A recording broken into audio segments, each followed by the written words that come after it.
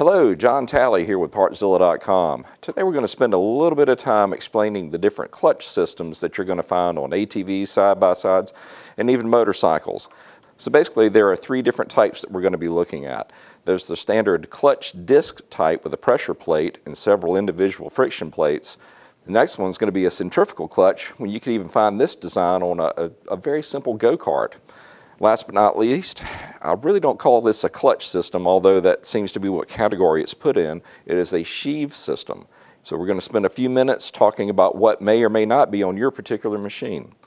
First, let's look at what I call the pressure plate clutch disc type system. So what you basically have is an outer gear that is being driven by the crankshaft, and it is transferring that energy or power to the center section through all these plates which are compressed together by these springs. So when you actually disengage the springs, it allows the basket to still be rotating on the crankshaft because you've got a direct connection there. And it essentially stops motion on the center part, which actually goes out to your transmission or output shaft, depending on which machine you have. This one is somewhat put together, and I'm going to pull it apart so you can see the inner workings of it, where you can really see the transfer of power. So there it all is, an exploded view.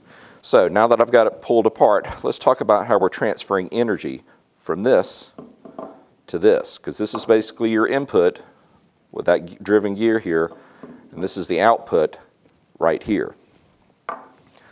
So each one of these fiber discs are actually locked in to your clutch basket. So they're sitting there spinning. Now, each one of your metal disc is actually locked in to what they call the clutch boss. So they're constantly spinning. Now what you're doing when you disengage the clutch, it pushes these springs in, lifts this plate to where these are no these metal plates are no longer making direct contact or enough contact where they can slip and actually rotate without engaging. So that is actually how it is transferring energy from this hub to this output right there.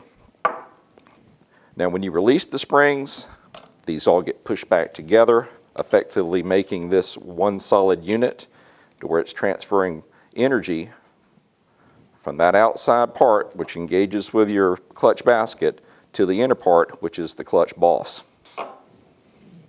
Next, let's look at the centrifugal clutch. Like I said, it's found on just about every go-kart out there.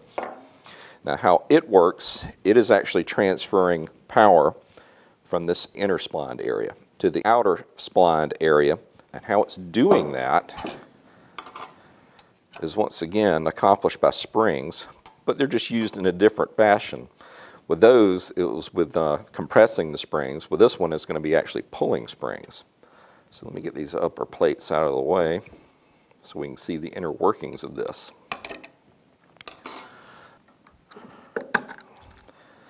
The way you're transferring energy from that inside spline to the outside spline is through these weights that are actually covered in a fiber material that's on the outer edge of it. Now what's happening as the RPMs increase, these weights have more and more force going out, pulling against these springs. And when that force overcomes the spring, they work their way out, they start making contact with this outer hub, and then they start to turn it. So that's how you're actually transferring energy from that center to the outer part of this hub. Last, let's look at the sheave system. And as you can tell, it's transferring power from the drive over to the driven side. Now how it's doing that, kind of think of it as a, like a 10-speed bicycle where you've got a set of sprockets on the rear hub going from high to low and uh, usually one or two or even three up front that are starting out big and then going down small. And what that effectively does is change your gear ratio going from the front to the back. Now, instead of having gears, what this is actually doing is changing that smaller to larger ratio by forcing this belt to ride in different locations compared from the drive to the driven part of the clutch system. So if you take out the drive clutch, what you have if this was assembled and ready to go on the unit, there's a set of weights that are located here, here, and here. Then there's a spring that rides right in this location, and it's forcing it out the whole time just in a natural state. Now, as it starts to spin, those weights start to go out, and they effectively push the sheave in, and when it does that, it makes the belt move from the inner part to the outer part, and in, in doing so is increasing its RPMs. Now, conversely, what's happening over on the driven side, the exact opposite is happening. The belt is starting out toward the outside and gets pulled into it starts out up here and then gets pulled in as it turns faster and faster to the inside, effectively changing your gear ratio.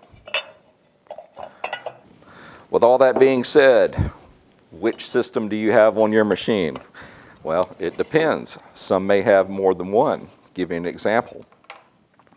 A Honda, just about every TRX utility machine out there, guess what? They use both of these in tandem.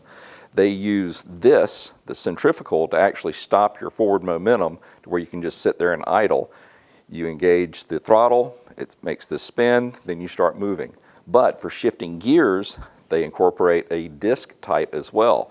So when you're pushing that shift lever down, it is actually actuating these springs, which disconnects the crankshaft from the transmission, allows it to shift, and by the time you bring that shifter back up, guess what? it re-engages this. But it's not moving yet because you haven't given it enough throttle to overcome the springs in the centrifugal clutch. Let's look at a different hybrid system, such as the Yamaha Grizzly. It actually uses a sheave type system joined with a centrifugal clutch. So what happens is the sheave system is in constant motion, both the drive and the driven clutch. But forward momentum is halted by the centrifugal clutch that has to be overcome before the machine actually moves forward. Now let's look at the Polaris system. They don't have any type of other clutching system other than the sheave. This is driven by the engine. This drives the transmission, but the trick is they actually have it set up to where the engine can sit there and rotate and the belt is just basically floating, waiting to be engaged. When you turn enough RPMs, it actually grabs that belt and off you go. Now, the other standalone system is probably the most common out there in the power sports industry. That is your standard clutch basket and pressure plate with the clutch disc system. It is found on basically every single motorcycle out there, as well as every single sport ATV that you're going to come across. Well, there you go. Chances are on your machine, you're going to have one or maybe a combination of the three. It really depends on the manufacturer and how they decided to implement their transmission system. Well, listen, if you need any parts for your machine, why don't you come see us at partzilla.com and we can get you taken care of. Have any questions or comments? Leave them in the section below and I'll do my best to answer them. If you like what you see, why don't you hit that subscribe button? That way you can keep up with whatever I'm working on next. Listen, we just want to say thank you for shopping here with us at Partzilla and we will see you in the next video. Have a great day.